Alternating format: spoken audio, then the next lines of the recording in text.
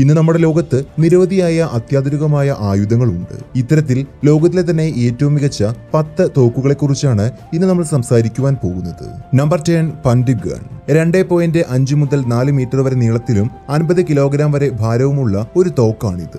വാണിജ്യ വിളവെടുപ്പ് പ്രവർത്തനങ്ങൾക്കായി പക്ഷികളെയും മറ്റും വെടിവെക്കുന്നതിനായി പത്തൊൻപതാം നൂറ്റാണ്ടിലും ഇരുപതാം നൂറ്റാണ്ടിലും ഇവ പ്രയോജനപ്പെടുത്തിയിരുന്നു. ഇവ പ്രയോഗിക്കുക എന്നത് അത്ര നിസ്സാരമായ ഒരു കാര്യമല്ല. അതിയായ നീളവും ഭാരവും തന്നെയാണ് ഇതിന്റെ കാരണം. ജലോപരിതലത്തിൽ ഉന്നം വയ്ക്കുവാനാണ് കൂടുതലായും ഇത് പ്രയോജനപ്പെടുത്തിയിരുന്നത്. ഒരൊറ്റ ഷോട്ടിൽ നിരവധിയായ പക്ഷികളെ ഇതുപയോഗിച്ച് കൊല്ലുവാൻ സാധിക്കും. ആയിരത്തി എണ്ണൂറ്റി തൊണ്ണൂറുകളിൽ കസ്റ്റം ഓർഡർ വഴി ബ്രേസ്ലോട്ട് ഷോട്ട് ഗൺ ഷെൽ എന്നിവ ഉപയോഗിച്ച് ഇതിനെ തന്നെ നവീനമായ രൂപത്തിലേക്ക് എത്തിക്കുകയുണ്ടായി. കൂടാതെ പന്റ് ഗണ്ണിന്റെ ഡബിൾ ബാരൽ മോഡലുകളും നിലവിൽ ഉണ്ടായിരുന്നു.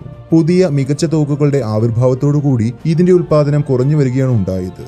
ഇന്ന് ശേഷിക്കുന്ന ഇവയുടെ മോഡലുകൾ പലയിടങ്ങളിലും സൂക്ഷിച്ചിരിക്കുകയാണ്. Number nine A A twelve. Atchisson assault shotgun എന്ന എ എ ട്വൽവ് ആയിരത്തി തൊള്ളായിരത്തി എഴുപത്തിരണ്ടിൽ മാക്സ്വെൽ ആച്ചിസൺ വികസിപ്പിച്ചെടുത്ത ഒരു ഓട്ടോമാറ്റിക് കോമ്പാക്ട് ഷോട്ട്ഗൺ ആണ് ഷോട്ട്ഗൺ പൂർണമായും ഓട്ടോമാറ്റിക് മോഡലിലാണ് പ്രവർത്തിക്കുന്നത്. മിനിറ്റിൽ നിരവധിയായ നിറകൾ ഉതിർത്തുകൊണ്ട് എതിരാളിയെ നിഷ്പ്രഭമാക്കുവാനുള്ള കഴിവ് ഈ തോക്കിനുണ്ട്. പതിനെട്ട് വർഷത്തിനിടയിൽ നൂറ്റി എൺപത്തെട്ടോളം രീതിയിലുള്ള മാറ്റങ്ങൾ ഈ തോക്കിൽ ഉണ്ടായിട്ടുണ്ട്. ഈ തോക്ക് പ്രവർത്തിപ്പിക്കുവാൻ താരതമ്യേന സുഖകരമാണ്. പബ്ജി ഫ്രീ ഫയർ മുതലായ ഗെയിം കളിക്കുന്നവർക്ക് ഇത്തരത്തിലുള്ള തോക്കുകൾ സുപരിചിതമായിരിക്കും. ഇതിനേകദേശം പത്ത് പോയിന്റ് അഞ്ച് പൗണ്ട് ഭാരമുണ്ട്. ആയതിനാൽ തന്നെ ഉപയോഗം അല്പം നിസ്സാരമാണ്. M P S action manufacturing കമ്പനിയായും special cartridge കമ്പനിയുമായും ചേർന്ന് തോക്കിനെ ഫ്രാങ്ക് ട്വൽവ് ഹൈ സ്ഫോടനാത്മക വെടിയുണ്ടകളോടുകൂടി ഒരു മൾട്ടി ഫംഗ്ഷൻ ആയുധമാക്കി രൂപപ്പെടുത്തിയിട്ടുണ്ട്. Number eight thunder fifteen B M G യൂട്ടയിലെ Logan ആസ്ഥാനമായുള്ള triple action L L C വികസിപ്പിച്ചെടുത്ത ഒരു തോക്കാണിത്. ഇതൊരു ബ്രീച്ച് ലോഡിംഗ് സിംഗിൾ ഷോട്ട് തോക്കാണ്. വിപണിയിൽ ലഭ്യമായ ഇവ ഉപയോഗിക്കുമെന്നത് വളരെ ആയാസരഹിതമായ ഒരു കാര്യമാണ്. ലോകത്തിലെ ഏറ്റവും മികച്ച കൈത്തോക്ക് എന്നറിയപ്പെടുന്നത് രണ്ടായിരത്തി മൂന്നിൽ അവതരിക്കപ്പെട്ട സ്മിത്ത് ആൻഡ് ബസൺ മോഡലാണ്. ഇതിനുശേഷം ഈ വിശേഷണം നേടിയെടുത്തത് thunder fifteen B M G ആയിരുന്നു. ഹെവി മെഷീൻ ഗൺ അല്ലെങ്കിൽ ആന്റി മെറ്റീരിയൽ റൈഫിൾ എന്നീ നിലകളിലാണ് ഇത് അറിയപ്പെടുന്നത്. ഇതൊരു സെമി ഓട്ടോമാറ്റിക് തോക്കാണ്. റിവോൾവർ ലൈൻ ഒഴികെ അവയുടെ തരത്തിലുള്ള മറ്റുള്ളവയേക്കാൾ വലുതും ഭാരമേറിയതുമായ ഒരു തോക്കാണിത്. കാലിഫോർണിയയിൽ fifteen B M G rifle നിയമവിരുദ്ധമാണ്. Number seven Pfeifer Zeliska അല്പം കട്ടിയുള്ള പേരാണെങ്കിലും അത്ര കണ്ട് വലുപ്പമില്ലാത്ത ഒരു തോക്കാണിത്. ഇതൊരു ഓസ്ട്രിയൻ സിംഗിൾ ആക്ഷൻ റിവോൾവർ ആണ്. ഇതിന് ഏകദേശം ആറ് കിലോഗ്രാം ഭാരവും അൻപത്തഞ്ച് സെന്റിമീറ്റർ നീളവുമുണ്ട്. സിലിണ്ടർ വിഭാഗത്തിന് മാത്രം രണ്ട് പോയിന്റ് നാല് ഒന്ന് കിലോഗ്രാം ഭാരമുണ്ട്. ലോകത്തിലെ ഏറ്റവും ശക്തമായ പത്ത് കൈത്തോക്കുകളിൽ ഒന്നാണിത്. ഒരു സെരിസ്കയുടെ ശേഷി കണക്കാക്കുന്നത് അറുന്നൂറ് നൈട്രോ എക്സ്പ്രസ് അല്ലെങ്കിൽ നാനൂറ്റൻപത്തെട്ട് വിൽ മാഗ്നറ്റ് എന്നീ രീതികളിലാണ്. ഒരു സെലിസ്ക റിവോൾവറിന്റെ ഏകദേശ വില പതിനേഴായിരത്തി മുന്നൂറ്റി പതിനാറ് ഡോളറാണ്. കോളിംഗ് സിംഗിൾ ആക്ഷൻ ആർമിക്ക് സമാനമായ സിലിണ്ടറിന്റെ വലതുഭാഗത്ത് സ്ഥിതി ചെയ്യുന്ന ഒരു ലോഡിംഗ് ഗേറ്റ് വഴിയാണ് ലോഡിംഗ് പൂർത്തിയാകുന്നത്. ഫെയ്ഫർ വാഫൻ എന്ന ഓസ്ട്രിയൻ കമ്പനിയാണ് ഈ തോക്കിന്റെ നിർമ്മാണവും വിതരണവും നടത്തുന്നത്. നമ്പർ സിക്സ് മഷീൻ ഗൺ ഒരു പക്ഷേ നാം കേട്ടിട്ടുള്ളതായ ഒരു തോക്കിന്റെ ഇനമായിരിക്കും ഇത്. Auto firing rifled long barrel automatic തോക്ക് എന്നീ നിലകളിലാണ് ഇത് അറിയപ്പെടുന്നത്. തുടർച്ചയായ ഫയറിംഗ് പവറാണ് ഇതിന്റെ മേന്മ. ഒരേ സമയം നിരവധിയായ പ്രഹരമേൽപ്പിക്കുവാൻ ഇതിന് സാധിക്കും. ആയതിനാൽ തന്നെ യുദ്ധമേഖലകളിലും മറ്റുമാണ് ഇവയെ കൂടുതലായി പ്രയോജനപ്പെടുത്തുന്നത്. മെഷീൻ ഗണ്ണിന്റെ തന്നെ നിരവധിയായ വകഭേദങ്ങൾ ഇന്ന് നിലവിലുണ്ട്. ഇത് പ്രവർത്തിക്കുന്നതിന് മികച്ച പരിചയ സമ്പത്തും വൈദഗ്ധ്യവും ആവശ്യമാണ്. അങ്ങനെയല്ല എങ്കിൽ നിരവധിയായ അപകടങ്ങൾക്ക് കാരണമായേക്കാം. മിക്ക ആധുനിക മെഷീൻ ഗണ്ണിലും ഒരു ലോഡിംഗ് സംവിധാനം കാണപ്പെടുന്നുണ്ട്. കൂടാതെ ഇവയിൽ ഭൂരിഭാഗം എണ്ണത്തിനും ഗ്യാസ് ഓപ്പറേറ്റഡ് റീലോഡിംഗ് തത്വം പ്രയോജനപ്പെടുത്തിയിട്ടുണ്ട്. ആയിരത്തി തൊള്ളായിരത്തി അൻപത്തിരണ്ടിൽ ഫ്രാൻസിലെ ക്ലെയർ സഹോദരങ്ങളാണ് ഇത് കണ്ടുപിടിക്കുന്നതും പേറ്റന്റ് നേടിയെടുക്കുന്നതും. Number five Anzio. ഒരു American anti material റൈഫിളാണ് Anzio twenty M M rifle.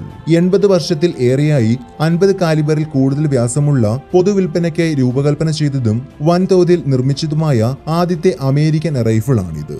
ഈ മോഡൽ റൈഫിളുകൾ മൂന്ന് കാലിബറിലും ലഭ്യമാണ്. വളരെ ശക്തിയേറിയ പ്രവർത്തനമാണ് ഈ തോക്കിന്റേത് ഇന്ന് വിപണിയിൽ ലഭ്യമായ ആൻസിയോ ട്വന്റി എം എം റൈഫിളിന് ഏകദേശം പതിനൊന്നായിരം ഡോളറാണ് വില വരുന്നത്. അമേരിക്കയിൽ മാത്രമാണ് ഇതിന്റെ നിർമ്മാണ പ്രവർത്തനങ്ങൾ നടക്കുന്നത്. ഏറെ കരുത്തേറിയതും കുത്തിത്തുളച്ച് കയറുന്നതിൽ ഏറെ മികവ് കാണിക്കുന്നതുമായ വെടിയുണ്ടകളാണ് ആൻസിയോ റൈഫിളിന്റെത് ഇതിന്റെതിൽ നിന്നും സാമ്യം ഉൾക്കൊണ്ട് നിരവധിയായ വ്യാജ പതിപ്പുകളും ഇന്ന് പുറത്തിറങ്ങിയിട്ടുണ്ട്. യുദ്ധാവശ്യങ്ങൾക്കും വേട്ടയ്ക്കും വേണ്ടിയുമൊക്കെയാണ് കൂടുതലായും ഇത് പ്രയോജനപ്പെടുത്തുന്നത്. Number four S S K nine fifty J D J American കമ്പനിയായ എസ് എസ് കെ ഇൻഡസ്ട്രീസ് നിർമ്മിച്ചെടുത്ത ഒരു തോക്കാണിത്. ശക്തമായ calibre റൈഫിളാണ് S S K nine fifty J D J ഇതിന് ഏകദേശം എൺപത്തഞ്ച് മുതൽ നൂറ്റി ഇരുപത് പൗണ്ട് വരെ ഭാരമുണ്ടാകും. ആയതിനാൽ ബെഞ്ച് റെസ്റ്റിൽ നിന്നോ ഹെവി ബൈപോഡിൽ നിന്നോ ഉള്ള ഷൂട്ടിങ്ങിന് മാത്രമാണ് ഇത് പ്രയോജനപ്പെടുത്തുന്നത്. ഈ റൈഫിളുകളുടെ വലുപ്പവും ഭാരവും ശക്തിയും അവയെ വേട്ടയാടൽ ഉപയോഗത്തിന് അപ്രായോഗികമാക്കുന്നു. എസ് എസ് കെ ഈ രീതിയിൽ മൂന്ന് റൈഫിളുകളുടെ മോഡൽ മാത്രമാണ് നിർമ്മിച്ചിട്ടുള്ളത്. മണിക്കൂറിൽ മുപ്പത് മുതൽ നാൽപ്പത് കിലോമീറ്റർ വേഗതയിലാണ് ഇതിന്റെ വേഗത എന്നതാണ് വിലയിരുത്തുന്നത്. കൂടാതെ ശക്തമായ രീതിയിലുള്ള പ്രവർത്തനങ്ങളാണ് ഇതിൽ നടക്കുന്നത്. വെടി ഉതിർക്കുന്ന സമയം ഏകദേശം പതിനെണ്ണായിരം മുതൽ ഇരുപതിനായിരം ജൂൾ ഊർജമാണ് ഇതിൽ പ്രയോഗിക്കപ്പെടുന്നത്. Number three Glock seventeen Austrian നിർമ്മാതാവ് ഗ്ലോഗസ് എം ബി എച്ച് രൂപകൽപ്പന ചെയ്ത് നിർമ്മിച്ച പോളിമർ ഫ്രെയിമുള്ള ഹ്രസ്വമായ recoil operated lock breech semi automatic പിസ്റ്റളുകളുടെ ഒരു ബ്രാൻഡാണ് ഗ്ലോക്ക് സെവന്റീൻ ആയിരത്തി തൊള്ളായിരത്തി എൺപത്തിരണ്ട് മുതൽ ഓസ്ട്രിയൻ സൈനിക പോലീസ് സേനകളിൽ ഗ്ലോക്ക് സെവന്റീൻ ഉപയോഗപ്പെടുത്തുവാൻ ആരംഭിച്ചു. ഇതിന്റെ നിർമ്മാണത്തോടുകൂടി കമ്പനി അതിയായ രീതിയിൽ അഭിവൃദ്ധിയിലേക്ക് എത്തപ്പെടുകയുണ്ടായി. ഏകദേശം നാൽപ്പത്തെട്ട് രാജ്യങ്ങളിലെ ദേശീയ സായുധ സേന സുരക്ഷാ ഏജൻസികൾ പോലീസ് സേനകൾ എന്നിവയ്ക്ക് ഇത് വിതരണം ചെയ്യുകയും ഇന്ന് കൂടുതൽ രാജ്യങ്ങളിലെ സേനകൾ ഇത് ഉപയോഗിക്കുകയും ചെയ്യുന്നു.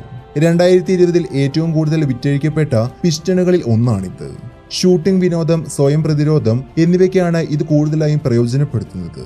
Number two R P G twenty eight Russian handheld anti rocket ലോഞ്ചറാണ് R P G twenty eight രണ്ടായിരത്തി ഏഴിൽ state research and production enterprise അബുദാബിയിൽ ആർ പി ജി അനാച്ഛാദനം ചെയ്യുകയുണ്ടായി. തുടർന്നിത് രണ്ടായിരത്തി എട്ടിൽ കയറ്റുമതിക്കായി അംഗീകാരം നേടുകയും രണ്ടായിരത്തി പതിനൊന്നിൽ റഷ്യൻ സർക്കാർ ഔദ്യോഗികമായി ഇത് സ്വീകരിക്കുകയും ചെയ്തു.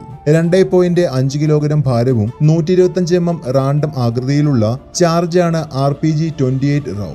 ഇതിന്റെ ലോഡഡ് ഭാരം ഏകദേശം പതിമൂന്ന് കിലോഗ്രാം ആണ്. റഷ്യൻ സേനയാണ് ഏറ്റവും കൂടുതലായി ഈ ഉപകരണം പ്രയോജനപ്പെടുത്തുന്നത്. ഇന്റർനാഷണൽ ഫയർ ആംസ് ആക്ട് പ്രകാരം ഇതൊരു വിനാശകരമായ ആയുധമാണ്. ഉടമകൾ ആയുധം ശരിയായി രജിസ്റ്റർ ചെയ്യേണ്ടത് അത്യന്താപേക്ഷികമായ ഒരു കാര്യമാണ്. ഏറെ അപകടകരമായ ഒരു ഉപകരണം തന്നെയാണിത്. Number one mini gun M one three four M one three four mini gun ഒരു American NATO six barrel rotary machine gun ആണ്. വളരെ മികച്ച രീതിയിലുള്ള പ്രവർത്തനം സാധ്യമാക്കുന്ന മെഷീൻ ഗണ്ണുകളിൽ ഒന്നാണിത്.